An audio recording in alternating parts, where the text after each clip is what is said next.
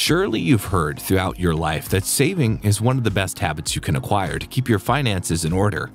In fact, in several videos in this channel, we recommend saving. Saving and not wasting money will allow you to achieve your goals in the future. But there's a fine line between being a saver and being stingy. Surely it has happened to you that for saving money and not wanting to spend, you have been called a cheapskate at some point. But are you really a cheapskate? In today's video, we will see what is the difference between a thrifty person and a cheapskate.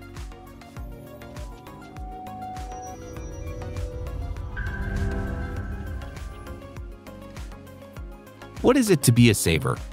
A thrifty person is someone who not only takes care of and values their money, but also has a clear objective of what they want to achieve with their savings, such as taking that trip they've always wanted or buying a car or a house.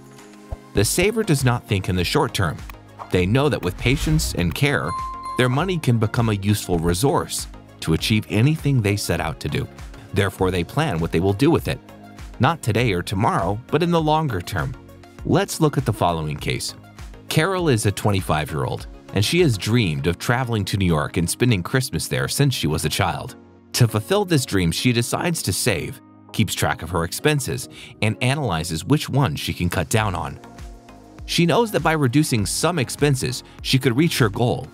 So she decided to start riding her bike to work instead of taking public transportation, to save money and at the same time take care of her health. Also, she decided to start preparing her food at home and even bring home cooked meals to work.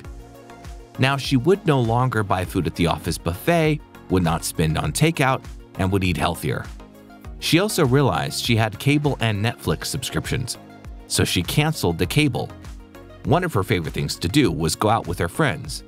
Every weekend that went out dancing and even went to the movies every once in a while. Carol saw that these activities took up a large part of her money. She did not want to miss out on these moments of recreation after all. We all need some leisure time. So she decided to go out less frequently. Her friends began to call her stingy, saying that money is not important and she couldn't take it to the grave. But Carol was confident in her planning and knew that what she was doing was important to fulfill her goal. Carol was able to save enough money in this manner, and after six months, she had enough money for her long awaited vacation. But is Carol stingy, as her friends called her? Carol was cautious. She knew what to do with her money, and thanks to her savings, she was able to accomplish one of her goals. What is it to be stingy? Stingy people focus on saving and avoiding as many expenses as possible. They feel guilty about spending even on things they really need, but they save for the sake of saving, not for a specific purpose or goal. Even if they have a stable economic life, they never go on vacation or eat out, and if they do, it is because they have been invited. Stingy people assess everything, compare different products, and take the cheapest one, even if it is of poorer quality. Their shoes may be falling apart, but they will continue to wear them until their toes poke through the holes, pushing everything to the limit. For stingy people, the most important thing is how much money they have in their pocket. They do not enjoy life, and in fact, the fear of spending is stronger than their desire to have a good life. Brian is a 35 year old businessman. He works hard, and thanks to this, he is in a good financial situation. He has a house and a new car. He has not gone on vacation for more than five years, he excuses himself by saying that the trips are long, he is afraid of airplanes, or that he has a lot of work to do. But the real reason he doesn't take a vacation is money. Brian doesn't want to spend money. He feels guilty about it and is always thinking about how to spend it. When he goes to the supermarket, he always buys the cheapest brand, even sacrificing quality. He saves as much as he can and haggles over prices. Although he has money, his clothes do not show it. He uses everything to the limit to save more. He complains that his friends don't visit him anymore, but he says that he never has enough time to have guests over at his home and doesn't want to spend it. So he isolates himself. Brian is alone with his money, and being stingy has only brought him heartache and loneliness. Having seen both examples, do you think Carol is a stingy person as her friends called her? The answer is no, isn't it? The truth is that the main difference between a saver and a stingy person is the purpose for which they save their money. While a saver has their perspective focused on the future, and gives their money a purpose, a cheapskate is a compulsive hoarder whose only companion is money that it hurts to spend.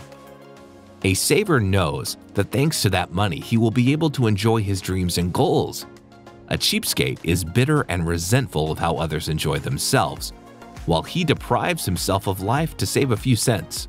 While the saver tries to make good use of his money, for example, by purchasing efficient appliances to lower his electricity consumption, the cheapskate does not use air conditioning even if he can't afford it.